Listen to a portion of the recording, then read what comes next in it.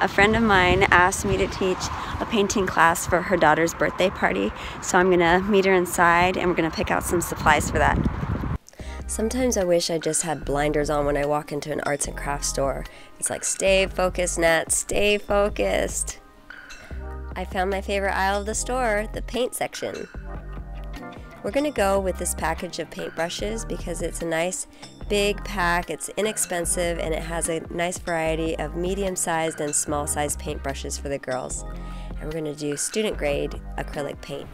This is my friend Kirsten and we're here at her house prepping for the paint party. So Ella's birthday is in two days. We're really excited. So I'm glad that Natalie is coming to join our party. So we are going to be painting on canvas bags for her party. We thought that they were more useful to the girls. So we're gonna be painting on them. I ordered them on Amazon for a set of 12 was only $19.99. To prep these bags, we're going to paint on them with just this regular latex paint that you can pick up at your local paint supply store. And this is just a sample jar and we're going to mix it up really well and just paint a square on it. That way, when the girls are painting with their acrylic paint, the paint doesn't bleed through the fabric on them. So let's get started. We started out by folding up garbage bags and putting them inside of the bags so that we could paint on the bags without having the paint bleed through. But then we figured out later on that cardboard boxes cut up actually worked a lot better because then when we were done painting them, we could pull them out more easily and hang them up to dry.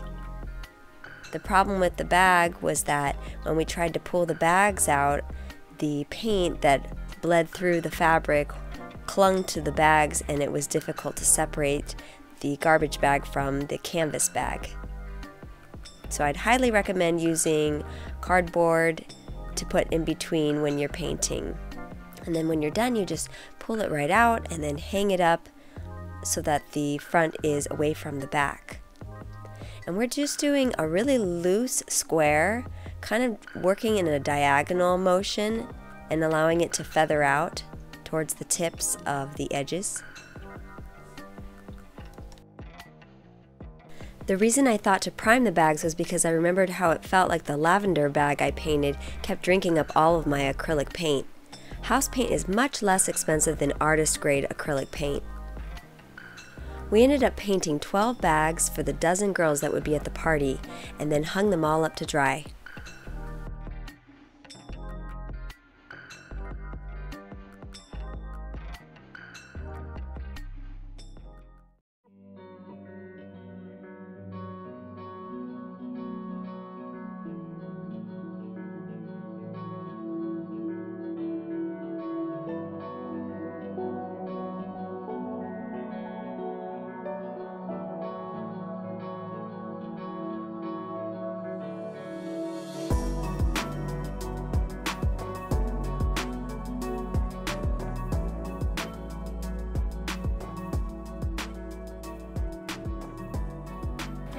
Hi, my name is Ella. Welcome to my ninth birthday. I like hermit crabs because they're cute. And this is my hermit crab pebble. And I have five more, and that's a total of six hermit crabs. And they just, they're just really cute. To start, each girl will have a primed canvas bag, a medium and small paintbrush, a cup of water, and a plate for their acrylic paint.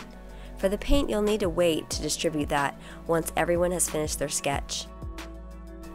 For the sketch, I used a step-by-step -step tutorial by Art for Kids Hub. I'll link that in the description. I broke the simple painting down by section. In the first section, we learned how to make brown for the sand. While I demonstrated, Kirsten and her sister-in-law walked around answering questions, passing out new paper towels, and changing out water for the girls. I would say it's a good idea to have a ratio of one adult per three children like we did. If the kids are older, you might be able to get away with one adult per six children.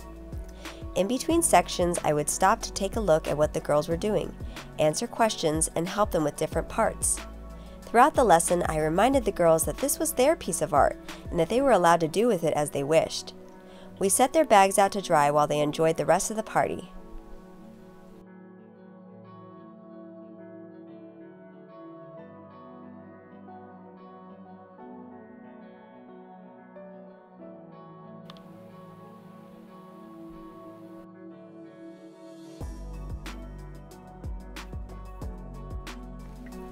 The party went really well. Kirsten even made these cute little Rice Krispie paintbrush pops for everybody as party favors. I hope you got some ideas for throwing your own paint party. Please like, comment, and subscribe to keep in touch. Thank you so much. I'll see you next time. Bye.